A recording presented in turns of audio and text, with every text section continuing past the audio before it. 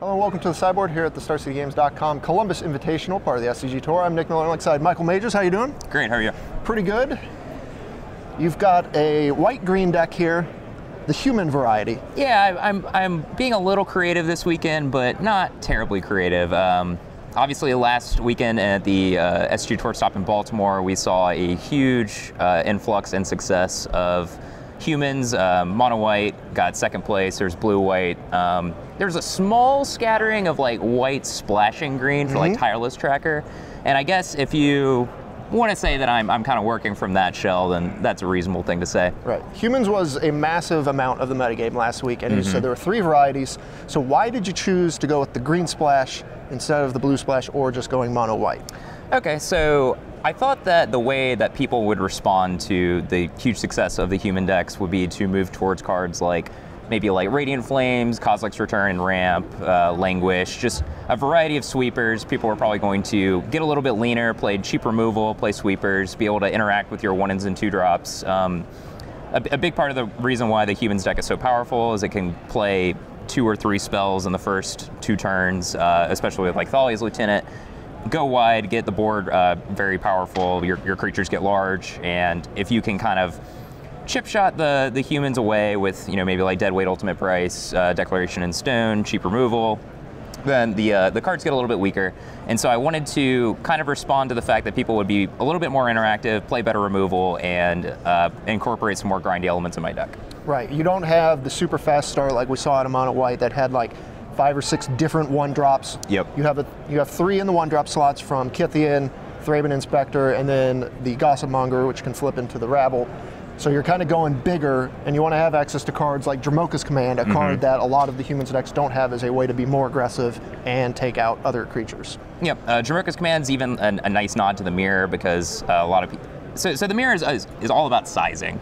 Uh, if you have larger creatures in play, especially first strikers, Knight of the White Orchid, Consul's Lieutenant, um, you can kind of like attack and block at will because of always watching all your creatures have vigilance. So Dromoka's command can bust up your opponent's always watchings, uh, make your Knight of the White Orchids larger, eat, eat just by like fighting their creatures. I mean, obviously we all know Dromoka's command's awesome. It has Sure. tons of modes, does a variety of different things, but it's, it's good in particular in the humans mirror. So you got the green cards. Let's talk about these because this is what makes the archetypes different right Mm-hmm. now. Now we saw Duskwatch Recruiter do a ton of work in Jim Davis's winning deck. He has Yes. a Bant Company deck. Didn't quite see it in the humans decks, but you have it here along with Tireless Tracker and of course Den Protector, just the value machine that he is. incidentally is a human. Um, Duskwatch Recruiter, I, I think, yeah. So it was, it's awesome in uh, Jim's Bant Company deck because you can kind of like pass, flip it into a werewolf, uh, leave up Bounding Krasis, leave up Collected Company, Avacyn. But I think it's obviously, you know, we're super early into the Shadows over Innistrad standard format, but people probably just don't realize that this card is just insanely powerful. Um, anytime that you draw this on like turn six or seven, it immediately spits out another card into your hand. Um, if you draw it in like the real late games, especially in top deck wars, you can draw upwards of four, five, six cards off of it just immediately, and that's just huge implications from a two drop.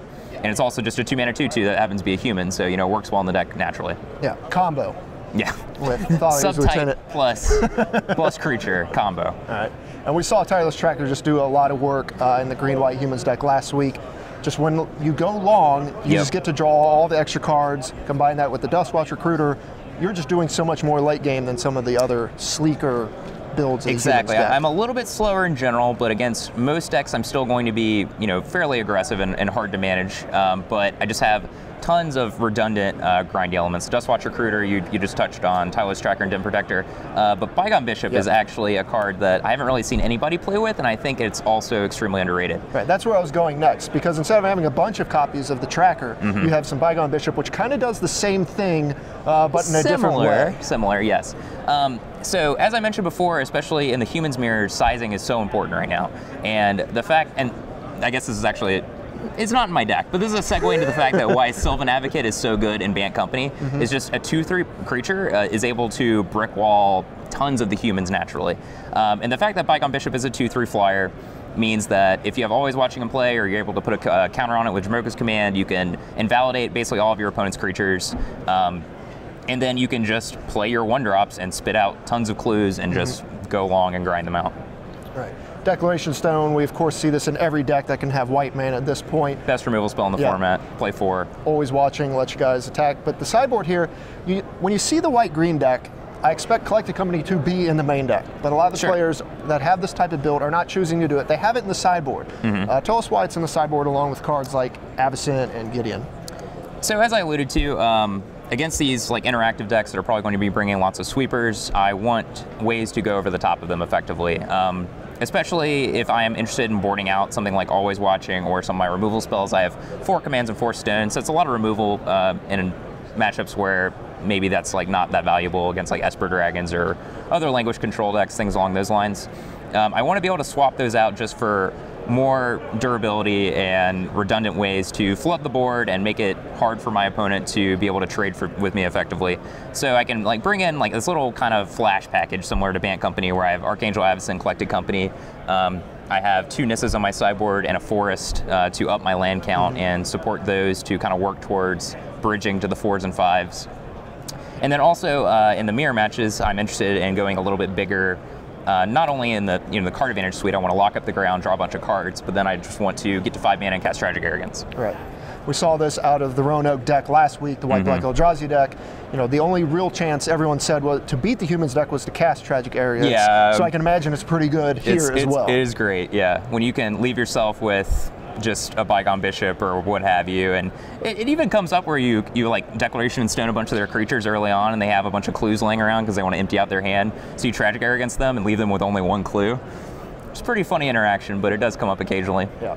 Leaving a clue behind is always pretty funny Yeah. after Tragic Arrogance resolves. Uh, let's talk about Westvale Abbey. How many in your deck? And, Goose egg. Right, so that's important. Zero, but we see it in some of these other decks. You know, mono white can only put in one or two. Right. Other people are trying to force a green white token strategy with more of that. Uh, why does it not deserve a place here, and where does that card really shine instead? Uh, Westvale Abbey is really interesting. It's, I think, uh, other people have touched upon this fact, but I think the threat of it is a lot scarier than the actual reality. Um, it's certainly like a card, like if I was going to play White Black Eldrazi again, I would probably play a copy or two within my 75 because it's just, it's a nice, like, grindy element. Uh, making a human every turn, I think, is a little bit underrated. Um, but uh, these white decks that we, we're seeing and are so popular and so powerful are, are very well equipped to deal with it naturally uh, between Declaration, Stone, Reflector Mage, things along those lines. So I think it would be pretty hard for me to work towards actually uh, making a, a Ormendahl Profane Yes. Prince. I was I was trying to You got it. I was trying to remember what it's actually called, but I, I got there. Well Um, done. Doing my job for me. so like you know I, I could like sacrifice my board and make this giant lifelink creature but i actually just want to keep like bygone bishop tireless tracker duskwatch recruiter in play and just generate advantage that way Yeah, it was interesting because uh, Kellen last week played the mono white build. He had one copy in his deck. Said it had him play a few times, got to the mana to use it, but said he only really wanted to activate it once. sure So like, it's there, but as you said, the threat of it is more important because everyone's got all the answers, whether it's clip wings, declaration stone, stasis snare, all that stuff, all takes care of it. Yep. So certainly i could see uh, you know we hit a point in the metagame maybe halfway through the shadows of Innistrad standard where westvale abbey is very powerful because maybe people aren't as prepared for it but i think the the hype kind of made it a little ineffectual the first week all right. Well, you're here with White Green Humans. You got a couple of the Roanoke crew to play it this week, so we wish you the best of luck. well tricked them as far as they know. yeah Mike, thanks for joining me here in the sideboard. Stay tuned it. to StarCityGames.com all week long for the action here in Columbus.